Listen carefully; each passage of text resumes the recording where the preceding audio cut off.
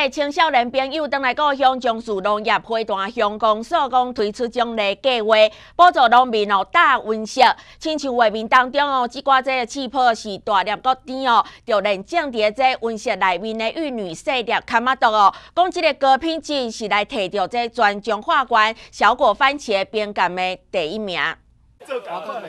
不管是温室的小番茄，或者是草莓，这些作物拢因为是温室的种植，加上农民采用无毒的方式来种，这些农产品拢变做高经济价值的作物。农民嘛拢透过自产自销的方式拍开市场。很多人都说。啊你们投了几百万在这温室，啊，我就只能回答他说，那开工厂啊，开个商店也都要店面啊，都要设备成本啊。那为的是确保那个能够有稳定的那个植物能够稳定的成长，能够有在预定的时间内收成嘛。啊，不然的话，如果你今天不投资这个温室设备的话，一阵大雨啊或什么来，可能就没了。那等于说血本无归，反而更惨。虽然农产品的价值高，销售的管道嘛真畅通，不过去温室的成本真高。为着鼓励青年朋友回来故乡，乡公所是提出补助措施。咱吼补助针对吼温室的补助吼啊，一分地有补助二十万吼，甲二十四万左右吼啊。过来呢，包括咱的葡萄，吼啊，咱的火龙果，拢有补助，这是属于较高经济价值的，所以拢是今年咱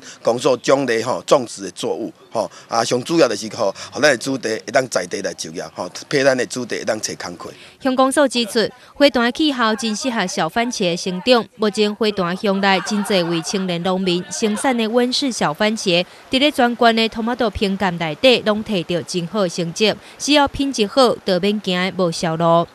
大专新闻电视两会段彩虹报道。